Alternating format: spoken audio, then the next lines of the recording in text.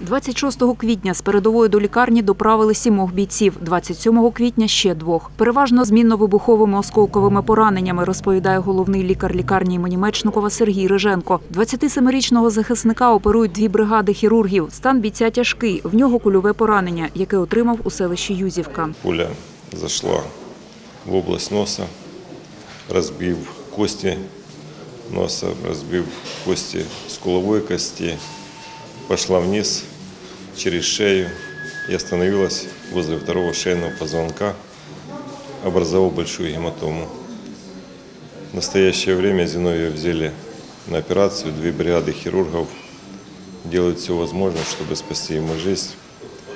Ранение крайне тяжелое, тяжелые доступы, спиной мозг и самая маленькая ошибка может его обездвижить. Другий тяжко поранений 31-річний Артем потрапив під обстріл у Новотроїцькому. У бійця мінно-вибухове поранення. Осколками розбиті кістки гомілки. У нозі більше 10 вхідних та вихідних отворів. Бійця готують до переливання крові. Попереду операція. Все другие бойцы, которые поступали к нам вчера, они поступали с акубаротравмой.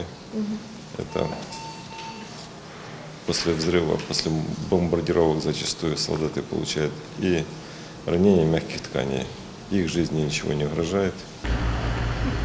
Оксана Ващенко, Олександр Шалдибін. Новини 51-го.